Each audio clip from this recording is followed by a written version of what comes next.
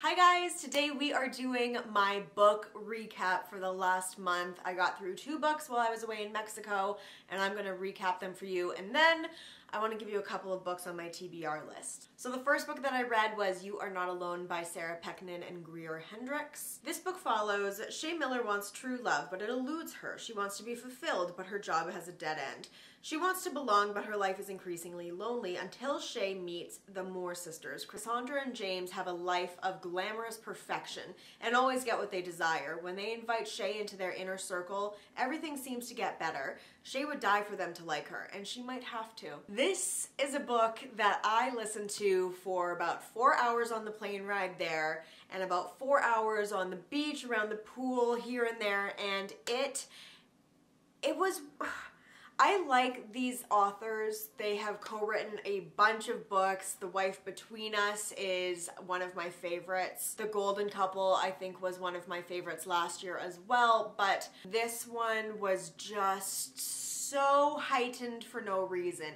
It just, so the main character is one of those people who keeps falling into these traps of wanting to be liked so bad that you overlook glaring red flags. I always get caught up on this trope where you lie to cover up something that is easy to explain just because you feel like it might be embarrassing. I hate that trope so much because it's always such a crutch in my eyes for like you could have just said you drove to get this. You don't have to make it seem like it wasn't a big deal. You made a mistake. You could just say, I felt really guilty. I drove to get it. Or I was here and that's why I had this. Like, it's just the whole saving face trope it's such a like plot advancement tool and sometimes it works and sometimes it's necessary and sometimes you gotta lie about something in a book to get the narrative moving on but this was used so many times throughout it. It's just frustrating to me when the solution is literally what the solution would have been at any stage of the book. So what would I give that? Probably a probably a two and a half out of five. It wasn't my favorite book. I really liked the authors, but I didn't love that. And then this was all over TikTok for a while, so I get a lot of my recommendations off of BookTok. The Last Word by Taylor Adams. The neck scratching is going on altogether too long. This is a weird one, all right? This is about Emma Carpenter lives in isolation with her golden retriever, Lyka, house sitting an old beachfront home on the rainy Washington coast. Her only human contact is her enigmatic old neighbor, Deke. One day, she reads a poorly written but gruesome horror novel by author H.G. Cain and posts a one-star review that drags her into an online argument with none other than the author himself. Soon after, disturbing incidents start to occur at night. To Emma, this just can't be a coincidence could he be stalking her too? And it's essentially a cat and mouse slasher of the author of this book and her being isolated and her dog, which is crazy.